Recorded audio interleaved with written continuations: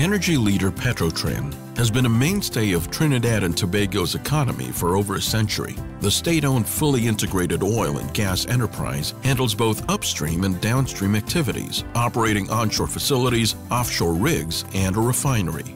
Petrotrin has recently upped its production of crude and aims to boost that total even higher.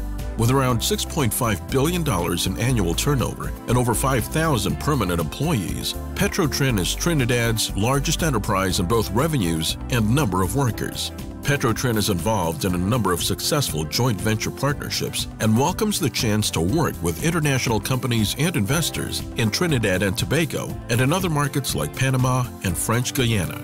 In addition to playing a key role in Trinidad and Tobago's ongoing development, Petrotrin is known for its exemplary corporate citizenship. The company supports a variety of sporting, cultural, and community service projects while providing a high-quality work environment with numerous special services for its employees. Petrotrin is also strongly committed to environmental protection. The Pointe-a-Pierre Wildfowl Trust, an environmental project to protect water birds on company-owned land, is a benchmark for green initiatives on the island. Petrotrin continues to engage and upgrade initiatives to maintain world-class operating standards and sustainability.